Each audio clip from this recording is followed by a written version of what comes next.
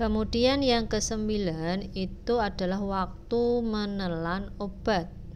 Bagi kebanyakan obat, waktu ditelannya tidak begitu penting, yaitu sebelum atau sesudah makan. Tetapi ada pula obat dengan sifat atau maksud pengobatan khusus guna menghasilkan efek maksimal atau menghindarkan efek samping tertentu. Sebenarnya, saya ulangi, sebenarnya resopsi obat dari lambung yang kosong berlangsung paling cepat karena tidak dihalangi oleh isi usus. Contohnya, yang pertama, obat-obat yang diharapkan memberikan efek yang cepat itu sebaiknya ditelan sebelum makan. Misalnya pada obat analgetika, kecuali pada asetosal. Yang kedua, obat yang sebaiknya diberikan pada lambung kosong, yakni satu jam sebelum atau dua jam setelah makan. Seperti contohnya pada penisilin, cefalosporin, eritromisin, rofamisin, linkomisin, dan klindamisin, rifampisin, dan tetrasiklin. Yang ketiga, obat lain yang bersifat merangsang mukosa lambung harus digunakan pada waktu atau setelah makan. Meskipun resopsinya menjadi terhambat. Contohnya pada kortikosteroid dan obat-obat rematik. Kemudian ada antidiabetik oral garam-garam besi obat cacing dan lain sebagainya yang ke 10 itu ada indeks terapi Hampir semua obat pada dosis yang cukup besar itu menimbulkan efek toksik dan pada akhirnya dapat mengakibatkan kematian. Nah, ada istilah yaitu dosis toksis atau TD singkatannya. Toxic dose. Kemudian ada dosis letal atau lethal dose disingkat LD dan dosis terapeutik atau efektif dose disingkat ED. Nah, untuk menilai keamanan dan efek suatu obat dilakukan dengan menggunakan binatang-binatang percobaan. Yang ditentukan itu adalah khusus ED-nya, ED 50 yaitu efektif dosnya yaitu dosis yang menghasilkan efek pada 50% dari jumlah binatang percobaan.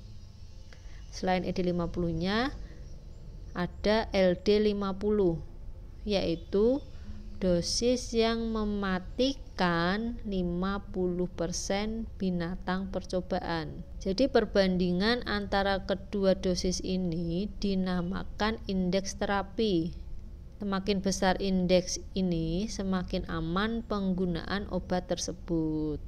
Kemudian ada istilah luas terapi yaitu jarak antara LD50 dan ED50. Juga disebut jarak keamanan atau safety margin. Kemudian kita lanjut yang ke-11 yaitu kombinasi obat. Dua obat yang digunakan pada waktu yang bersamaan itu dapat saling mempengaruhi kerjanya, yaitu ada yang bersifat antagonisme, di mana kegiatan obat pertama itu dikurangi atau ditiadakan sama sekali oleh obat kedua. Jadi efek obat pertamanya itu kurang atau hilang malahan sama obat keduanya. Yang kedua, sinergisme, di mana kekuatan obat pertama diperkuat oleh obat kedua. Di sini ada dua jenis, yaitu yang pertama adiksi atau sumasi adalah kekuatan kombinasi kedua obat adalah sama dengan jumlah masing-masing kekuatan obat tersebut. Yang kedua itu ada jenis potensiasi yaitu kekuatan kombinasi kedua obat itu lebih besar dari jumlah kedua obat tersebut. Adapun keuntungan dari kombinasi obat adalah sebagai berikut. Yang pertama, yaitu menambah kerja terapeutik tanpa menambah efek buruk dan mengurangi toksisitas masing-masing obat, misalnya pada trisulfa. Yang kedua, keuntungannya menghambat terjadinya resistensi, misalnya rifampicin dan isoniazid. Dan yang ketiga, memperoleh potensiasi, misalnya cotrimoxazole. Adapun kerugian obat kombinasi, yang pertama itu ada pemborosan.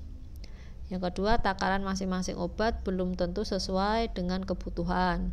Sedangkan takaran obat itu tidak dapat diubah tanpa mengubah pula dosis obat lainnya. Kerugian yang ketiga yaitu manfaat tidak memenuhi syarat dan yang keempat mempermudah terjadinya resistensi terhadap beberapa spesies kuman. Kemudian yang kedua belas itu adanya interaksi obat.